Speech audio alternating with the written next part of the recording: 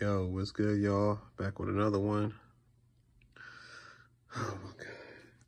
I thought I was gonna be mad about I thought I was mad about the Chicago loss. That's fine. I can live with that one because that was a monsoon plus, you know what I mean, it's week one.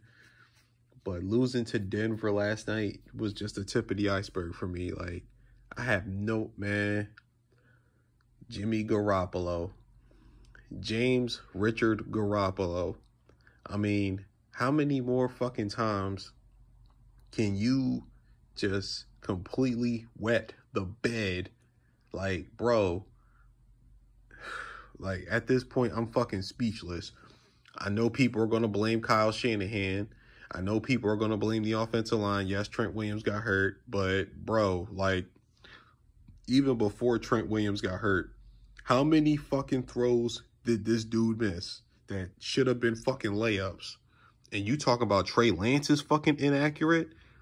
This is how I know some of y'all don't watch fucking games, yo. Like, he had Deebo wide the fuck open on a curl route, yo. Wide the fuck open. And didn't even throw the fucking ball. He chooses to throw on the other side to Brandon Aiyuk, who was blanketed by fucking Patrick Surtain. Then he fucking missed him. He basically missed him. Well, even though it was caught, but Deebo should have fucking scored. If he would have just fucking just drove the ball, he stepped steps into the throw, it would have been a fucking touchdown when Deebo had the matchup on the linebacker. But this dude is just flagrantly ignorant to making the right decision. I'm just being honest, yo. This is why I was this is why my fucking spirit went low when Trey Lance got hurt. Yes, Trey Lance still has stuff to improve on. I agree with that 1000%.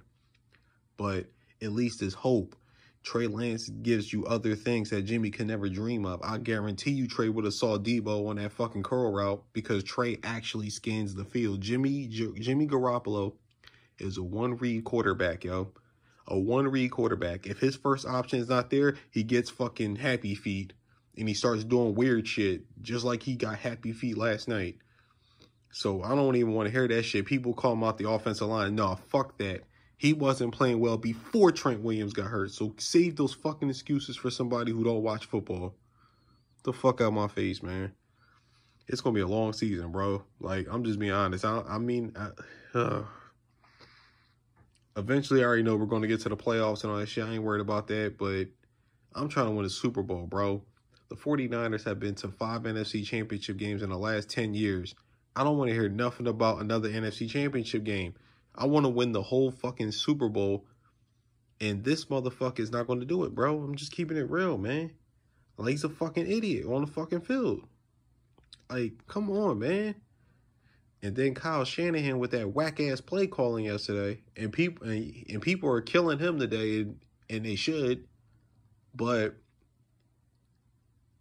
Jimmy is just Jimmy's a fucking goofball, man. It's just it's just what it is. Like I don't even know what the fuck else to say at this point, bro. And people wanted people wanted him back over over Trey. People wanted that. And the, and the weather was fucking good. So I don't even want to hear that bullshit. Y'all talking about Trey put up 10 points in a fucking monsoon. Jimmy put up 10 in fucking perfect weather. And I don't know how many fucking throws he missed. Like I can count on one fucking hand. The fuck out my face, man. Like for real. And plus, and then on top of that, Trey can get out of sacks. He knows how to maneuver in the pocket. That's fucking sad that a fucking second year guy with minimum starts knows how to maneuver in the pocket better than Jimmy Garoppolo can. But we're gonna say that conversation for another day. But uh all you fucking media members and all these other clowns that's out here, oh you owe Trey Lance an apology. The fuck out my face, man. Cause y'all tried to fucking y'all tried to dump everything on him after week one and then he got hurt in week two after it apparently, I mean, after it was apparent the 49ers were going to blow Seattle out no matter how, what the fuck was going to happen. But now this. Come on, man. I don't even want to hear it no more, bro.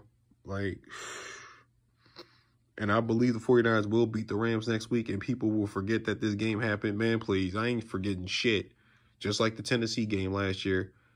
Like when people was fucking down my neck for fucking destroying Jimmy after the Tennessee game. But come on, man. Like you in year fucking six, dog, and you play like that, and you know the system. I have nothing else to say, man. I'm just frustrated, y'all. But y'all tell me what y'all think. I'm gonna holler at y'all. Peace.